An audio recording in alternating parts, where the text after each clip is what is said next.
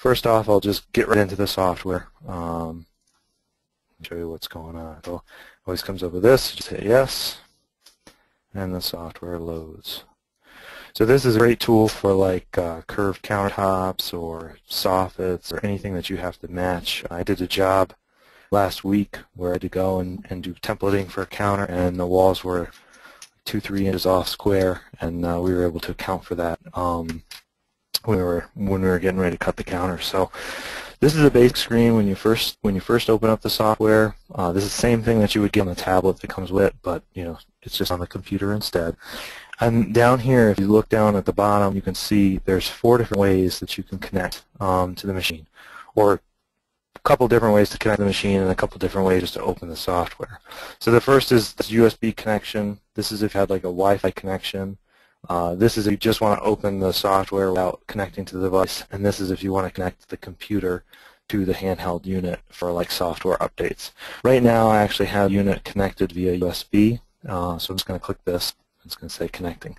It's just like the first little help screen that comes up. Um, let me know kind of basics. I'll go over that in a minute. And this is the default uh, software settings screen. Um,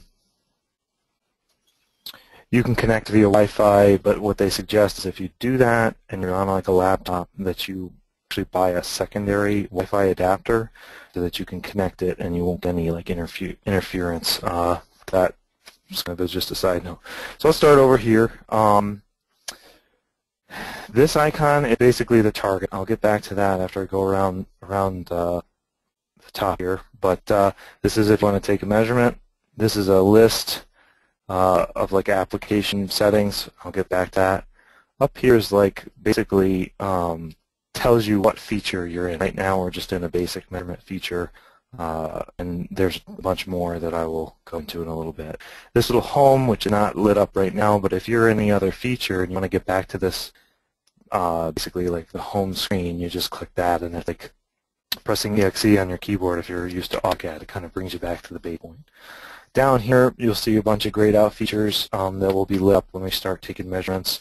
And then this one and two, basically this is like a you can go back and forth between things, uh, one or two. Uh, time, how the uh, unit is actually connected, so it's connected via USB and the unit's plugged in. Um, so I'll get kind of right into it. If you want to actually see what you're looking at, you click this target, and you can see I have it um, in my office. Uh, so sorry, it's not necessarily the best, but uh, you'll kind of get a, gist of what this thing can do. Um, but this is a basic target screen. You can move this around um, by clicking. If you have a touch screen or something like that, you can touch the points that you want, or you can actually move the unit uh, manually as long as you don't uh, shift or move the actual position. Come back to this in just a little bit. Um, so I'm going to kind of get into the applications. This is your basic uh, settings. Um, you got applications. I'm going to start at the bottom actually. So, so in basic settings, you have a snap radius. Um, this is like if you were to take a point and then go around the room and come back to a point. Um, this will snap you on that uh, specific point. Um, I actually like to set this for zero, and then that way it won't really snap me on another point, so it doesn't, you know, if I want to have a point two inches from another one. Uh, it goes all the way up to eight. But if I want to have a point two inches from the other one, I can just take it and it will take a shot. So I'm going to click OK. Go back to settings. Um, assistance, like if you want it to like you know, prompt you through things. Um, units or the basic units of measurement for the slope. I have set for degrees. For distance, I have it set for inches and 30 seconds. For angle, I have it set for degrees as well. Decimal separators, self-explanatory. And then horizon is uh, set for zero um, as opposed to 90. That just makes sense to me. You can have welcome text if you wanted to like have it say, you know, hello Adam, how are you doing today? Uh, it could do that in the beginning. Uh, date and time is if you want to do that. That's helpful for when you're taking, uh, you can take pictures with this unit and it'll actually put like a timestamp on it. Language, self-explanatory. Uh, Import-export is basically, you can do format. This doesn't really matter too much. Um, this doesn't really matter too much. These coordinates kind of matter. If you can see right here, they have east, north, and height are some crazy dimensions. This is basically the zero zero point or the the XY point in your DWG file or DWX um, file when you export it. Um, they have it set up for like a surveyor type thing where you know they're thinking that you're going to be going into the negatives and the positives. I can actually go through and I'm going to set this for zero, um, zero, zero because I'd like my drawing point to start at the zero zero point. If it goes negative, it's fine. Um, so I'm just going to click OK. Back to settings. Um, then you can do reset default if you want to just go back to the way it is. Next thing we have in the settings is basically the software, what you're using, um, which I'm using version 3.0. Uh, calibration, don't really mess with that too much. Um, it, these are factory calibrated right from Leica. There should really be no reason to mess with this. Um, theft protection, tilt sensor, all that kind of stuff, stay away from. Um, protection if you need it. But then this is kind of the same screen we started with where you connect to stuff. You can um, change the connection. You can disconnect, connect via wireless. Um, and this WLAN channel is kind of, it's if you wanted to set your channel and then it would update the computer if you're having troubles connecting, but that we can go over later. Um, then if a calculator, we got file management, which is basically like, you know, we got our demo save there. I'm going to save a new one there today. And then now we finally get to the applications. So there's four different applications that you can run. This toolkit is basically like basic toolkit. It doesn't actually save anything. I'll show you that in a minute. Room scan is probably where 90% of your stuff is going to be taken in, in that. Um, and don't let the name fool you. It's kind of, you know, there are some automated scans that you can do, but there's also some point scans that you, you know, you're actually moving the device and telling it where you want to take the measurements. And I'll show you that in a little bit. Projector is like if you had a, a DWG file and you had specific points on there. Um, actually, see if I can show you. You can take those points and import it into this program, and it will. You would take the first point and set it, and then the disto would kind of move uh, move around to the other points Let me just show you real quick what I'm talking about. My AutoCAD just crashed. So, so say you know, say you had wall paneling or something, and you wanted to set up some screw points. Um, not used to doing my AutoCAD on this screen, so it's a little different. So say you wanted it, you knew where this point was going to be, but you wanted it to tell you where these other points are.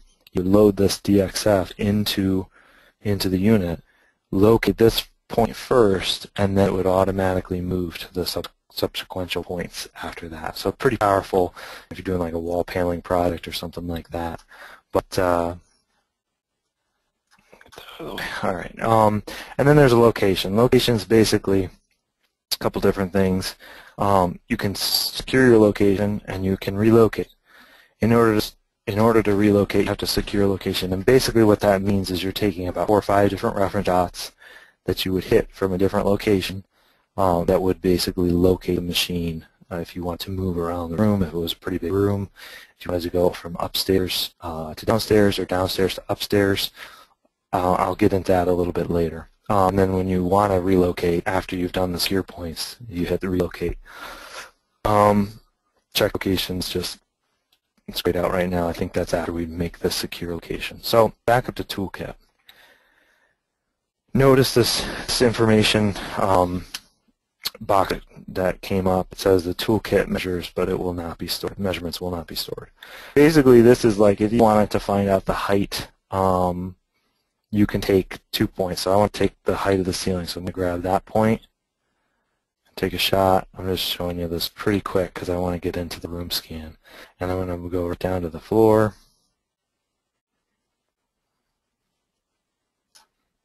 take a shot right here. That's my.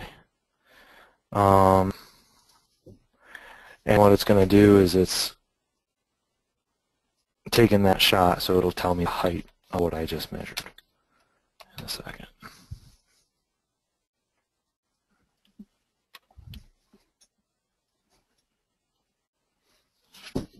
Okay, I, I was off plumb, so that's okay.